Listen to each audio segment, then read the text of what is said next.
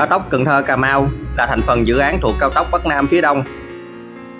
Ở tại khu vực đồng bằng sông Cửu Long còn có các thành phần dự án khác bao gồm đoạn Trung Lương Mỹ Thuận đã được đưa vào sử dụng. Đoạn Mỹ Thuận Cần Thơ đang được triển khai thi công, dự kiến hoàn thành cuối năm 2023. Dự án cao tốc Cần Thơ Cà Mau đi qua 5 địa phương bao gồm thành phố Cần Thơ, tỉnh Hậu Giang, Bạc Liêu, Kiên Giang và điểm cuối kết thúc tại tỉnh Cà Mau.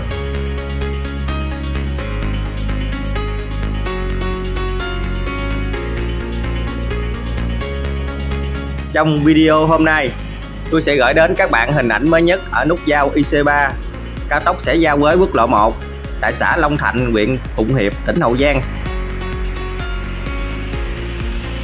Nhìn bản đồ vệ tinh từ trên cao thì chúng ta sẽ thấy rõ vị trí đường cao tốc giao với quốc lộ 1.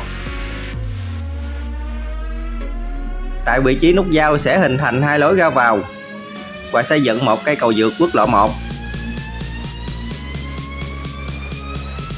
Tổng chiều dài của dự án khoảng 111 km, trong đó đi qua địa phận của tỉnh Hậu Giang là 63 km, chiếm khoảng 55% trên tổng số chiều dài toàn tuyến. Tiến độ thực tế trên công trường, chúng ta sẽ thấy nhà thầu đang triển khai ép cọc và xây dựng móng trụ cầu vượt. Có hai ba trụ chuẩn bị sẽ hoàn thành.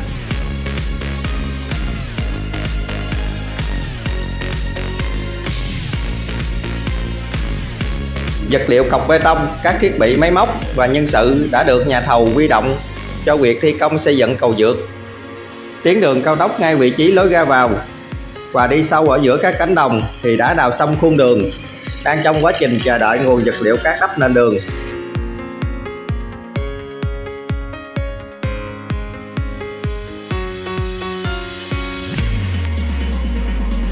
Theo báo cáo mới nhất của Bộ Giao thông Vận tải cho biết, dự án cao tốc Bắc Nam phía Đông đoạn Cần Thơ Cà Mau dài 111 km, tổng mức đầu tư 27.523 tỷ đồng đi qua 5 tỉnh thành, dự kiến cơ bản sẽ hoàn thành và đưa vào vận hành từ năm 2026.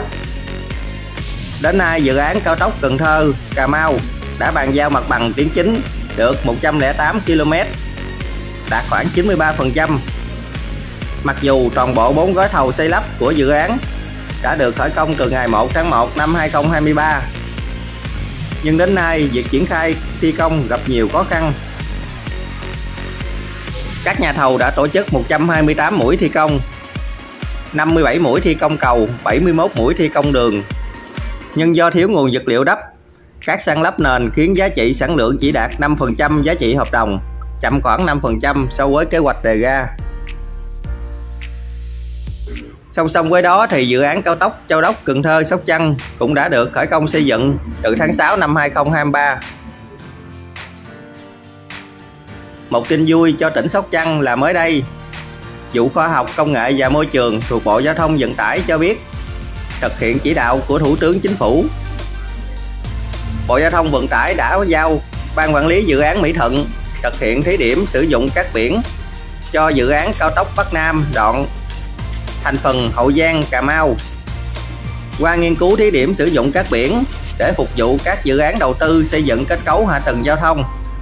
Trên đoạn thí điểm là tuyến đường tỉnh 978 tại lý trình km số 79 cộng 220 đã hoàn thành đắp cát nền đường bằng cát biển K95 và K98 đang thi công lớp đá dăm láng nhựa.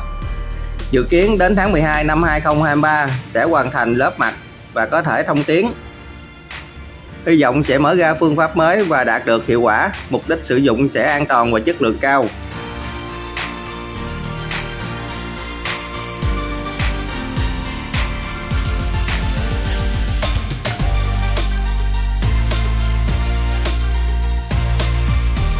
Tiếp theo tôi sẽ cập nhật tiến độ thực tế trên công trường. Cao tốc Cần Thơ Cà Mau giao với đường tỉnh 925 thuộc xã Đông Phước A, huyện Châu Thành, tỉnh Hậu Giang. Xin mời các bạn theo dõi tiếp tục video nha và gửi lời hẹn gặp lại trong video ngày mai.